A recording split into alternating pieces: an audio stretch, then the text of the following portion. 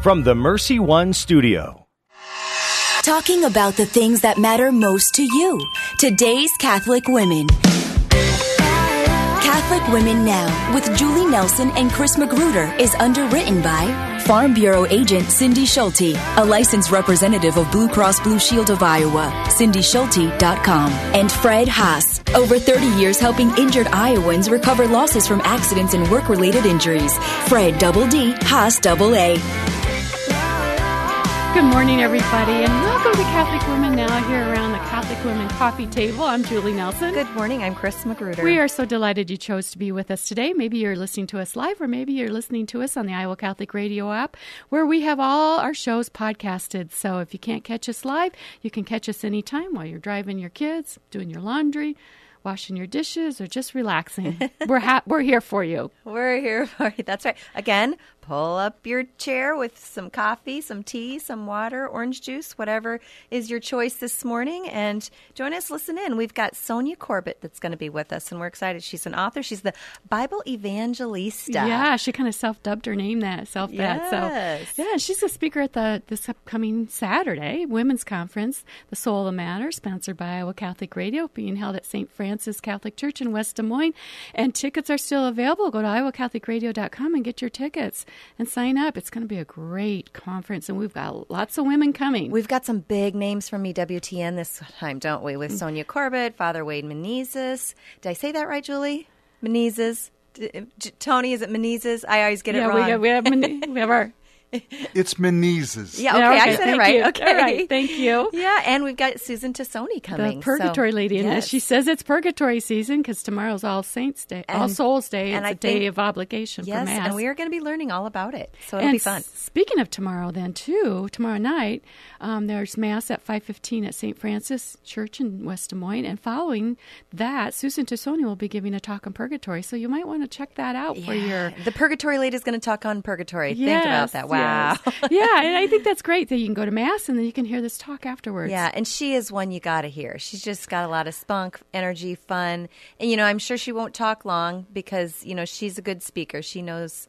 So you come on out and listen to her Well- because, or stay a little bit longer after Mass. It'll be great. The thing about Susan Tassone is purgatory is not one of those topics you think would be exciting to learn about. But she just is. she makes it exciting. And so that's what's so fun to listen to her about it. It's like Uh-huh. you get fired up about these souls in purgatory and what they can do for us and the so much holiness, so much holiness in this. So yeah. Yes, yes. And you know what, Julie? Just, I- I know we didn't intend to talk about this, but I have to say thank you, Souls of Purgatory. People pray for those souls in purgatory. They will pray for you, and they have helped me several times with big things because you know they can't pray for themselves but they can certainly pray for us so we got to help them by returning the favor and I praying know, for them I have so. um, deceased relatives. My father's passed away. So after he passed away, it was like, okay, dad, you know, pray for your grandson that's really in trouble right now. oh you got a grandson in trouble huh just using that as an example Um, his example. yes. But I mean, really, truly, it was, it, you know, if I called on him for prayers. Yeah. Yeah. it's very beautiful. absolutely And we're excited around here at Iowa Catholic Radio, and we hope you are too for the upcoming event December 7th. Mark your calendars. Oop Phenom and Iowa Catholic Radio present extraordinary news with Father John Riccardo. amen he's gonna be so fun And a premiere of the Veil Removed. God willing. Chris, Chris is uh, very involved in that, as we know. And this will be at the Iowa Events Center, Grand Ballroom. You can get your tickets at iowacatholicradio.com. They're only $20. And if you cannot afford $20, we can make some kind of arrangements for Yep. that, too. Give us a call. Matter of fact, I just had somebody last night send me an email, and he said, "I want to, um, I want to help with twenty tickets for anybody that has a hard time." Okay, there, so if people would like a, a scholarship ticket, would they contact you, Chris? you know, they should probably contact Iowa Catholic Radio Okay. at two two three one one five zero. Okay. Yep.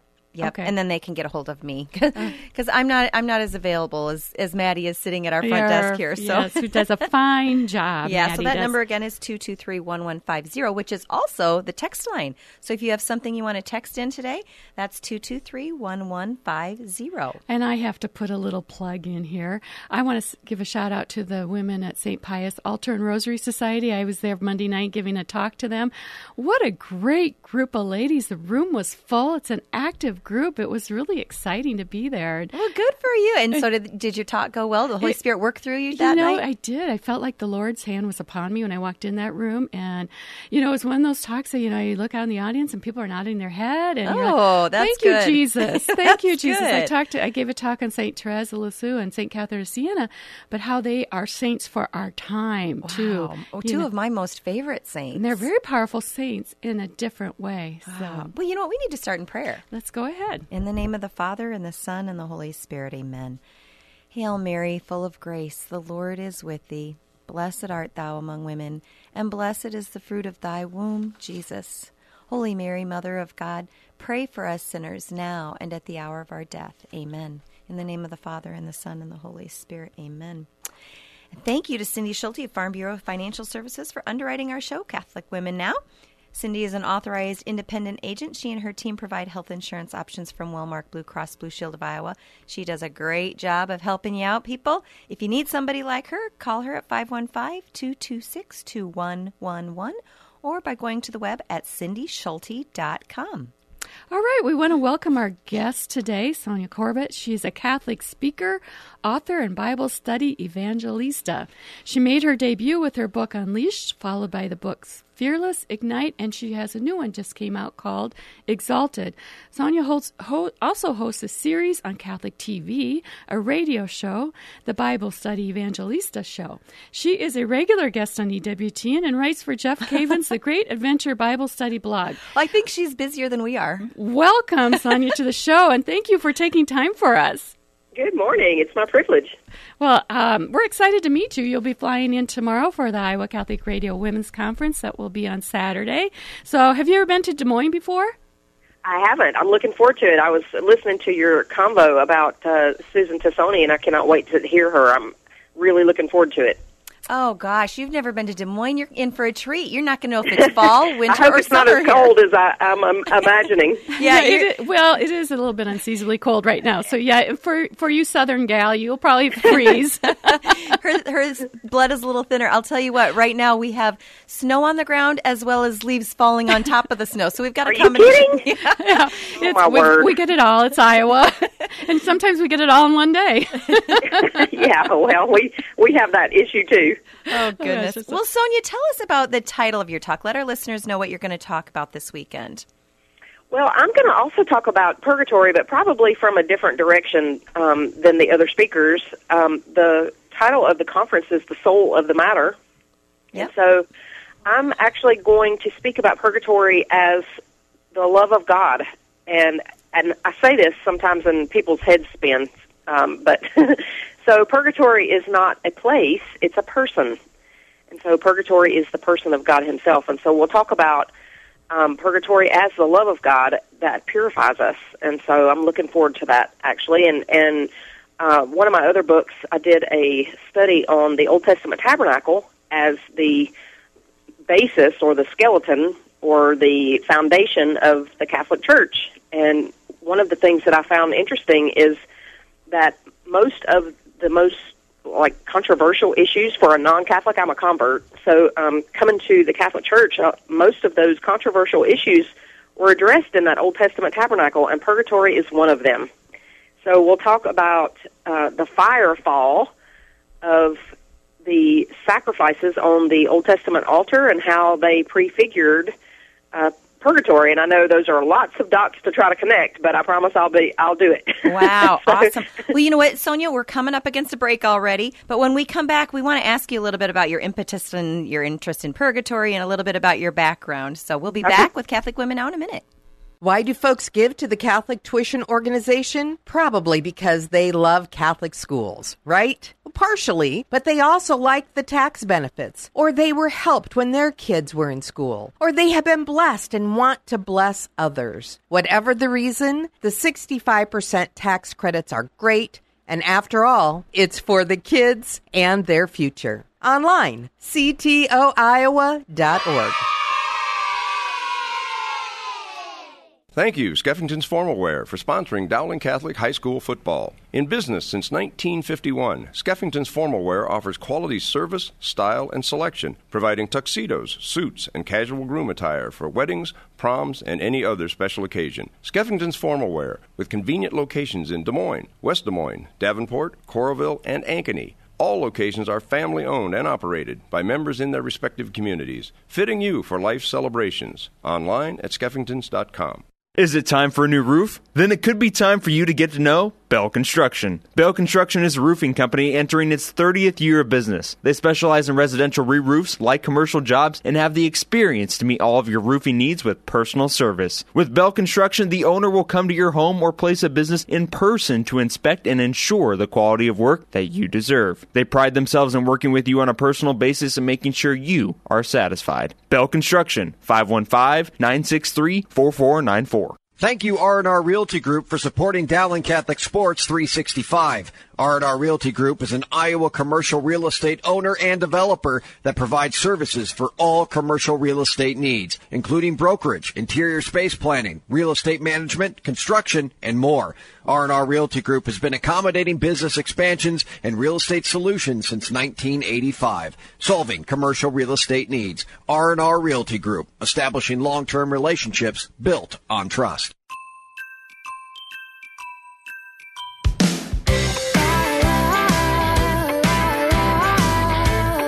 Welcome back to Catholic Women Now with Chris Magruder and Julie Nelson. We're talking to Sonja Corbitt, the Bible evangelista, who will be with us at I, the Iowa Catholic Radio Women's Conference this weekend. Sonja, okay, so back to what we were talking about. I think you were just going to start getting into a little bit about what your background was. I think you were a Southern Baptist girl, as I remember. Tell us a little Yep. bit about that, and what was your impetus for um, your interest in purgatory? Well, okay, so yeah, I am a Southern Baptist convert, and down here, that's about all there is. and it was a what I call a perfect storm, really, because I had a friend who came into the Catholic Church, and I went to her uh, Easter Vigil Mass, and at the same time, I have spent, and probably until I'm dead, I will still be working on a what I call a father wound with God, and that father wound and how God has been forming me and trying to heal me of that sort of contributed actually to bringing me into the church. And specifically, I discovered that Martin Luther actually had a, uh, a uh, father wound as well, and it Oh, caused yes. him to do the same exact things that I was doing in my own life. I have a real problem with anger and rebellion and rage, that kind of thing. So um, that, along with the Easter Vigil of my friend and writing my own Bible studies and resources and doing some research on church history, sort of sucked me into the neck of the funnel. and, We got and so here I am. But yeah, and and the whole purgatory idea, I I I as I came into the Catholic Church, it was so difficult. It was so hard on my marriage. It was hard in every single way. Everything was happening at one time in my life. I had a a brand new baby, so I was postpartum. I had uh, my my oldest son had a devastating accident that almost killed him, and so he Oh, my he was he couldn't walk. He was uh, eight at the time, so I had a an invalid that I was trying to take care of. I lost my job. My husband his hours were cut, so we went from two incomes to a half of an income. I was being persecuted at church. I was, I mean, just you know, you name it. Everything was happening at Wow. a lot time. of suffering for you in a moment. It was, but my patron saint is John of the Cross, Oh. and his teaching on suffering and what God is using it for was absolutely transform transformative for me, and it just it changed everything, and and it really helped me see purgatory as a wonderful, wonderful gift, and it's not something we should be afraid of. Well, speak speak briefly to John of the Cross. What does he say about suffering? Tell our listeners.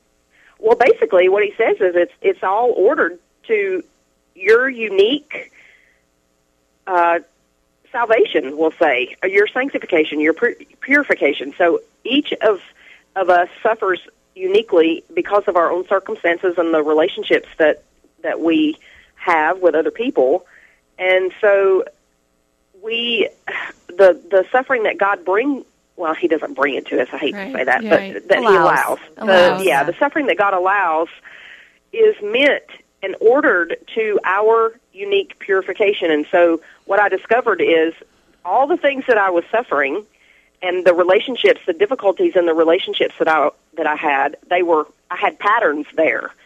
And when I started to really look at the pattern, what I noticed is that God was using those relationships and those circumstances to help grow me out of this father wound.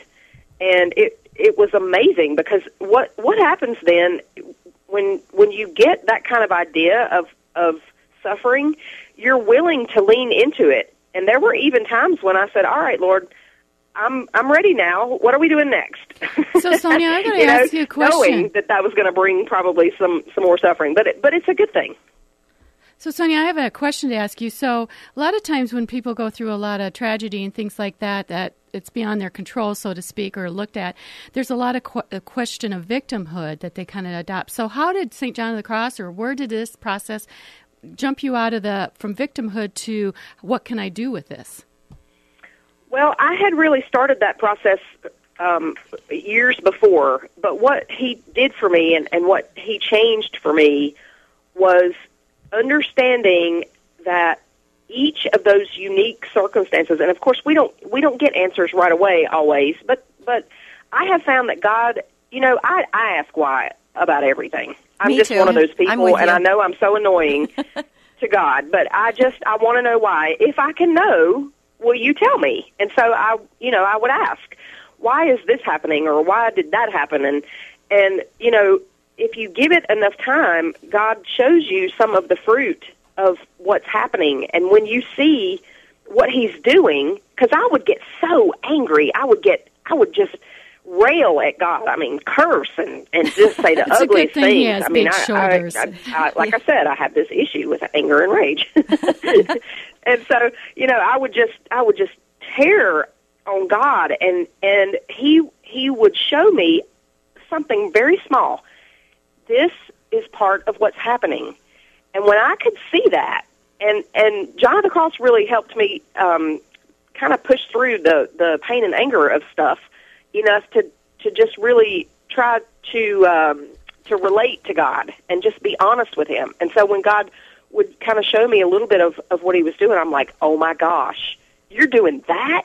Okay, okay. So I'm willing then. I know this sucks right now, but but I'm willing to kind of um, lean into it with Yeah. you and and thank you.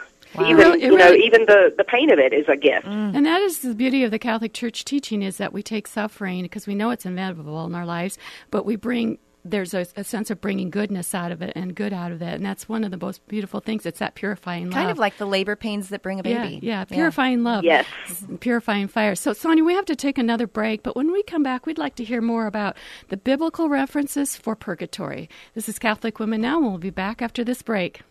The Man Up West Power Lunch is Friday, November 8th at noon. Tim Jamieson will discuss the relic of the true cross of Jesus Christ, plus other relics of the saints. Lunch provided by Chick fil A. The Man Up West Power Lunch at St. Francis of Assisi, Friday, November 8th at noon. Learn more at iowacatholicradio.com.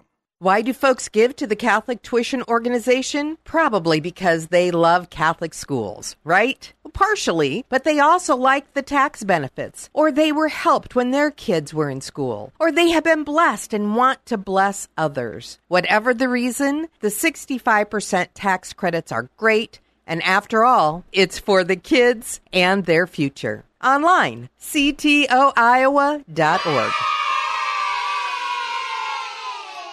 Is it time for a new roof? Then it could be time for you to get to know Bell Construction. Bell Construction is a roofing company entering its 30th year of business. They specialize in residential re roofs, like commercial jobs, and have the experience to meet all of your roofing needs with personal service. With Bell Construction, the owner will come to your home or place of business in person to inspect and ensure the quality of work that you deserve. They pride themselves in working with you on a personal basis and making sure you are satisfied. Bell Construction, 515 963 4494. Thank you, Dental Associates, for supporting Dowling Catholic Sports 365. Dental Associates addressing your smile, needs, and dreams. 515 225 6742. Online at Des Moines Dentalassociates.com. Ladies, do you want a spiritual boost? Then join Iowa Catholic Radio at our women's conference, The Soul of the Matter, on Saturday, November 2nd at St. Francis in West Des Moines. It promises to be a powerful day beginning with Mass celebrated by Bishop Joensen, followed by three amazing speakers Father Wade Menezes, a radio and EWTN favorite, Susan Tassone, the Purgatory Lady, and Sonja Corbitt, the Bible Evangelista. Register now at iowacatholicradio.com or call 515 223 1150.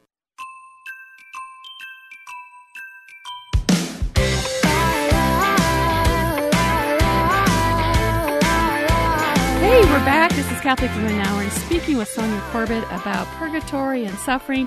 And Sonja, right before the break, we wanted to come back with having you to give us a few um, biblical references for purgatory because the word purgatory does not itself show up in the Bible. So how do we know That's purgatory right. exists? That's right. So um, that's we would call that an implicit uh, reference. So it's not explicit in the Bible because the word doesn't actually appear, but it is implicitly in the Bible all over the place.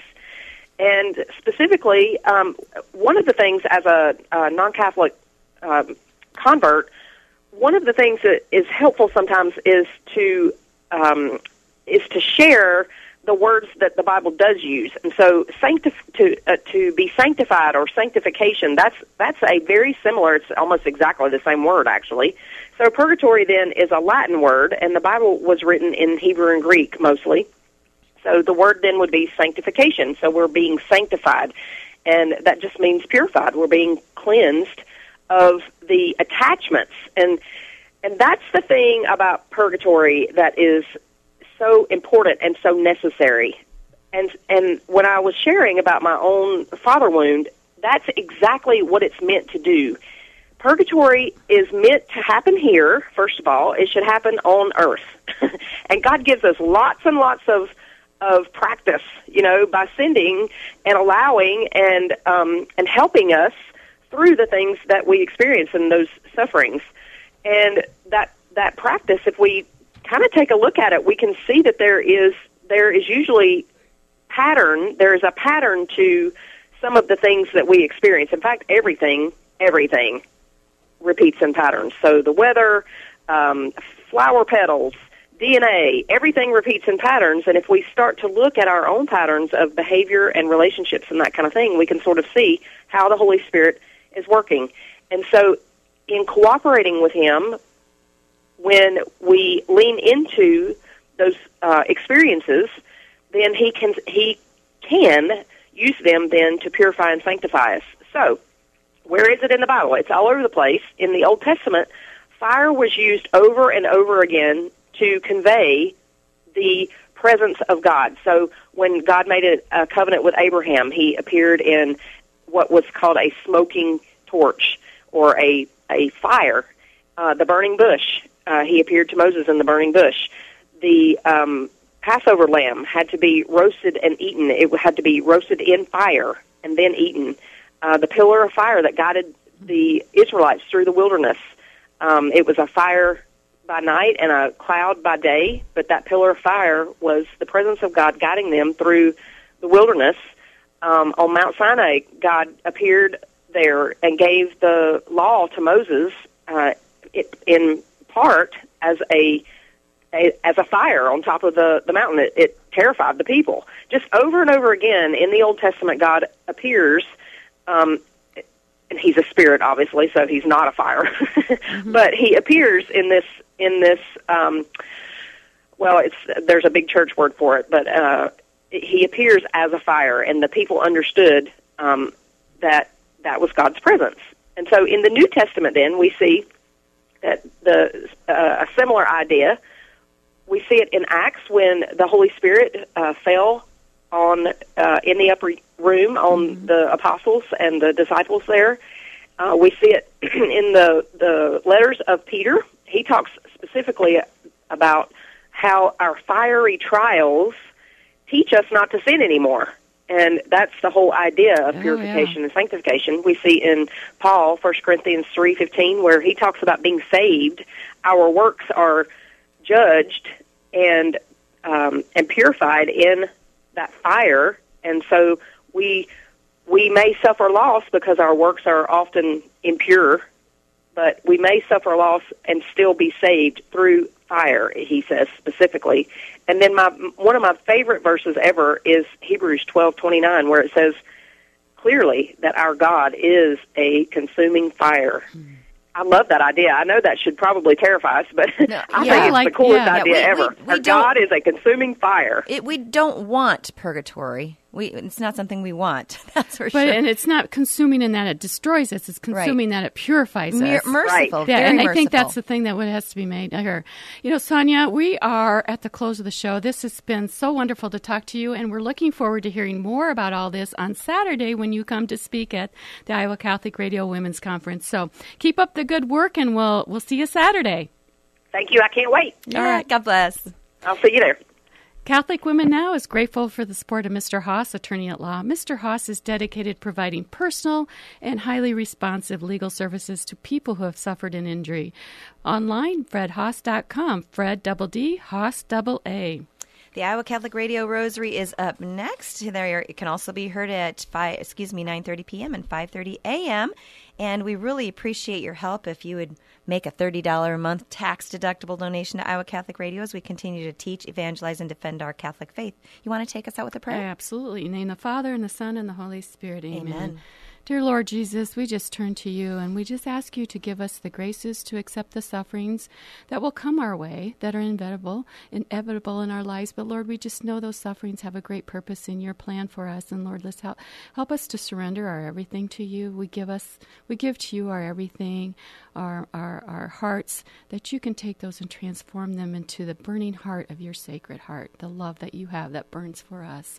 And we ask this in your name, Jesus. Amen. In the name of the Father Father, and the Son, and the Holy Spirit. Amen. Now go do impossible things with God. Talking about the things that matter most to you. Today's Catholic Women.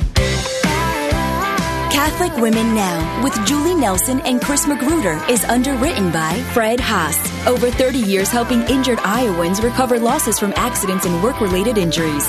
Fred Double D, Haas Double A. And Farm Bureau agent Cindy Schulte, a licensed representative of Blue Cross Blue Shield of Iowa. CindySchulte.com. Catholic Women Now with Julie Nelson and Chris Magruder every Thursday at 9 a.m. and 9 p.m.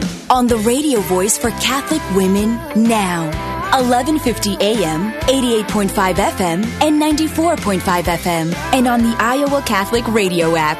Iowa Catholic Radio.